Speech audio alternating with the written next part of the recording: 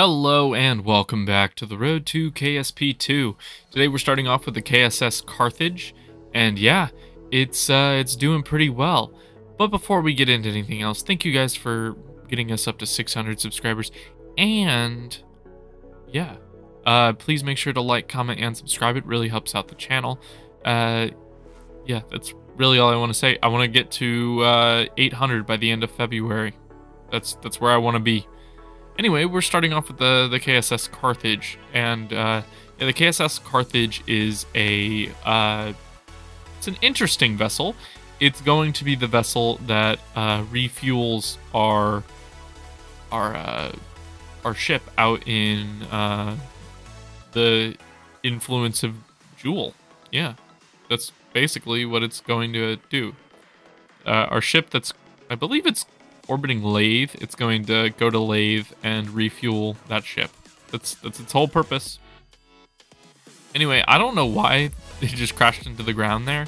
Uh, something was, went wrong with Mech MechJeb. Anyway, here we are with Aphrodite 4. It's on its way back to Kerbin. It's not far at all from Kerbin. It's uh, it's actually pretty close, and it'll it'll be there within 30 days. So that's that's pretty good. Uh, yeah, so it'll be there right now as we're recording this. Um, you can actually see Minmus and uh, the Mun, and there it is. There's Kerbin. Here we are.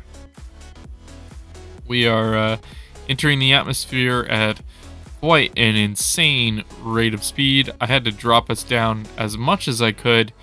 Uh, it was still a little too much, and yep, uh, craft disintegrated. Yeah.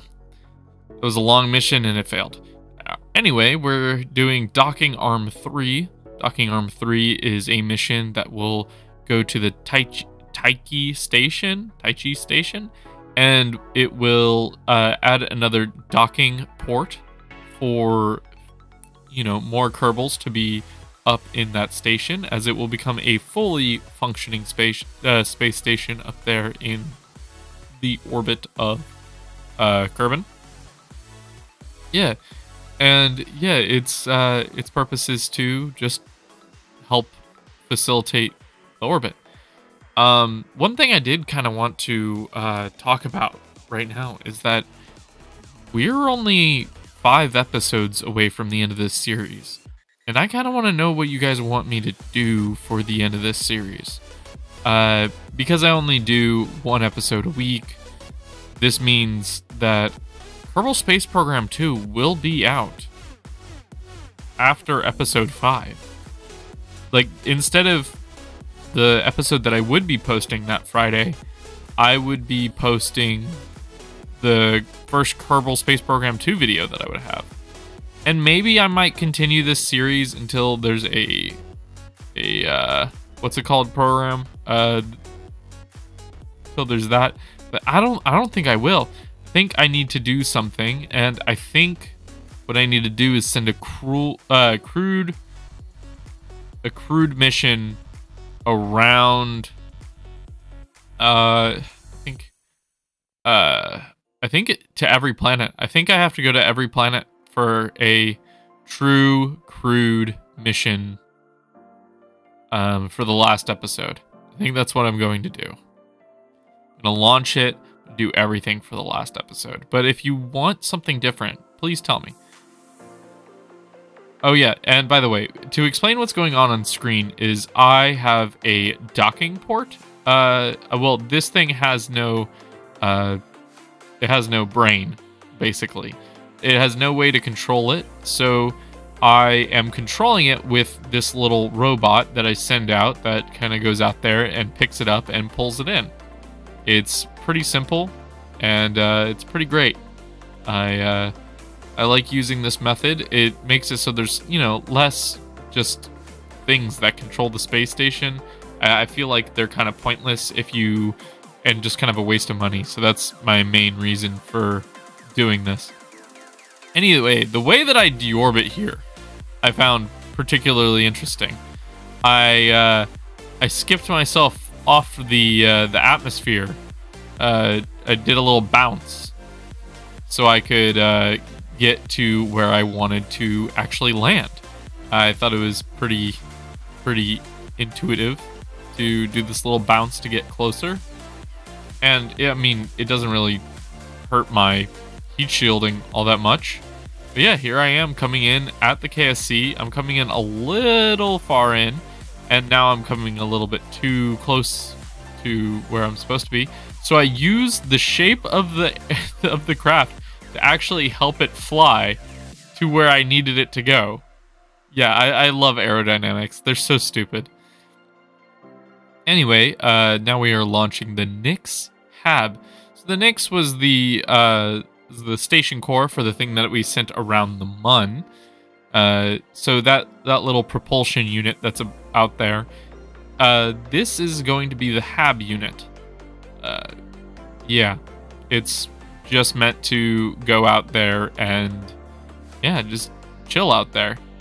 Kind of just uh, be out there until I can put uh, throw the next mission out there, which will put the um, basically like a crossbar like structure so that we can add the docking and I would say like a miniature lab module onto that section. And then yeah it'll basically be done from there. Anyway so we're kind of low on uh on uh, actual uh fuel for this mission uh over here with the the first stage and I thought I could do this by myself since manually, well, not manually, since with the MechJeb, I'm having trouble actually landing the craft recently.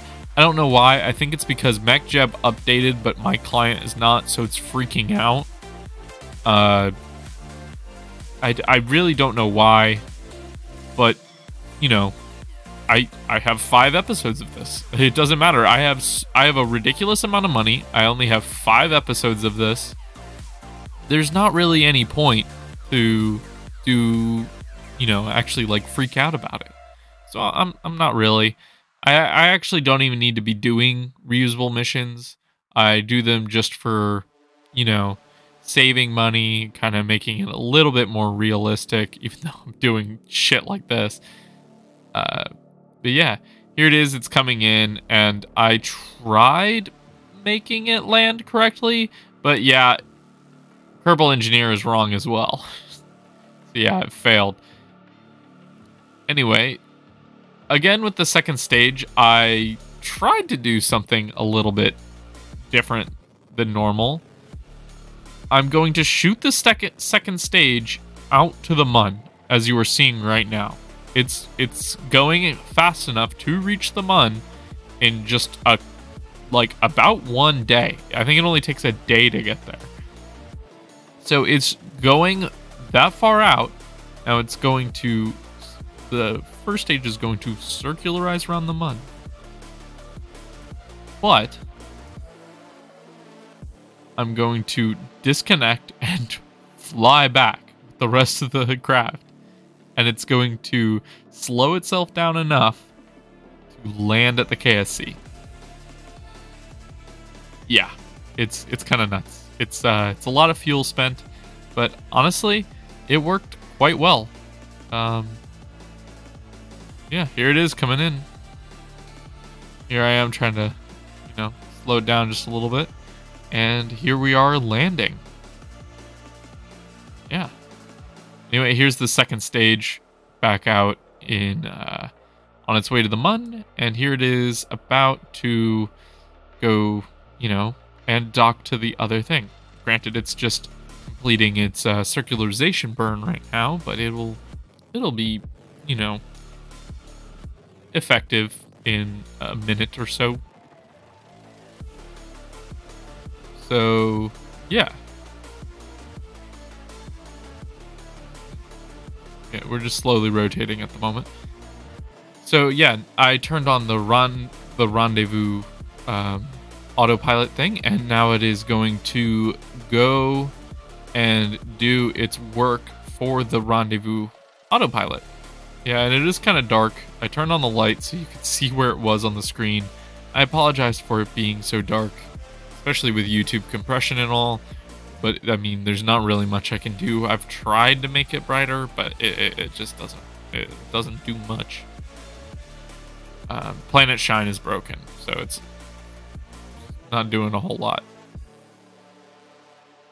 So yeah, here we are. We're going several orbits of the Mun in order to get our encounter. And yeah, here it should be in a couple days time, or actually pretty pretty soon, maybe even just a couple of minutes. So here it is, uh, getting ready to do its burn in just a second, and there it is. There's its burn, and now it's going to burn closer. And I decided to end that, and I launched that thing out into the distance. So yeah, here we are, uh, coming in close. We're using docking alignment indicator to get ourselves the perfect docking position. And we're going to come in quite quickly to this uh, to this spot, as you can see by what I'm doing right now. And there we go. Now it's ready for the next episode. Yep, and here is our resupply slash recrewing mission of the new of the well of Taichi Station, and yeah, it's it's just here to do you know its its thing. It's it's going to dock at the docking arm that we just installed this episode, which is pretty cool. I'd like to say. Um, it's a new craft. It's a new reusable craft. I don't know the name of it yet, but if you guys would like to come up with a name, you can do that. Yeah, Anyway, here it is uh, going up into orbit, and it also has a uh, detachable nose cone, as you'll see in just one second when I detach the thing. Although it moves so quickly, it's only on the screen for like a couple of frames. Yeah. All right. Now, uh, once we reach orbital velocity, I will, uh, I will show the first stage landing as it is quite impressive. Here it is coming in at a, a great rate of speed, but it slows down quite quickly due to the amount of uh, air brakes that we have. Here it is coming in at a good place, and yeah, it just lands quite smoothly. Then it kind of vibrates, but whatever. So yeah, I uh, turn on Rendezvous auto- autopilot, and I uh, I went into the other room, and here it is, slowly but surely making its way to the station as it is supposed to. Here we go. We are, you know, just gonna get out to the station. We're gonna burn in the opposite direction so that we slow down around it in relative terms to it. And uh, yeah, I let us burn close, and then I decided to turn off rendezvous autopilot and turn on docking autopilot. And yeah, here we are. We're going in for docking, and we will be able to put our crew on board.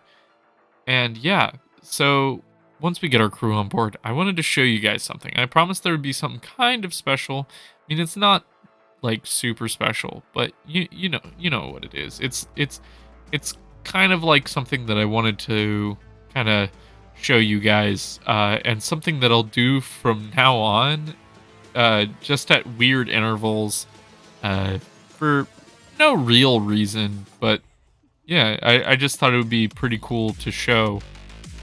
Um, yeah, it is there's not like a real reason for it other than that I thought it was cool. And yeah, that's coming up right after we dock these Kerbals into the side of this station. Yeah. Here they here they go. They're going in. And yeah. I'll show you it right now. It's a pretty cool clip I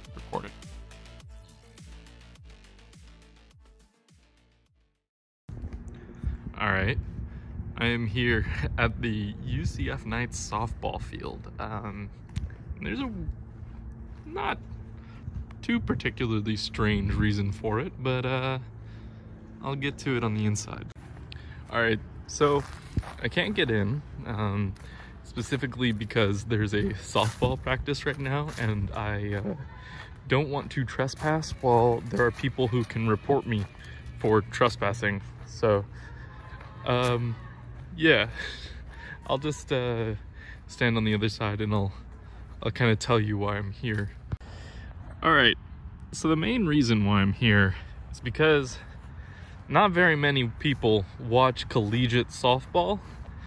So, this stadium can fit exactly 600 people, plus whoever's sitting over here. And maybe that's included in the 600. I don't know. I haven't counted the seats exactly. But on its official record for the for the stadium itself, it says 600 people can sit here and watch softball. So yeah. That's the that's the reason I'm here. Which means that one, every single person that subscribed to me can fit in every single one of those seats over there. And yeah, I thought that's pretty cool. Yeah. Now I can't wait till you guys get me into there. So, while they were doing practice, this ball flew over the fence and I'm keeping it as the 600 subscriber softball. I'll probably write in permanent marker somewhere about that on there. And yeah, yeah that's a cool little souvenir for 600.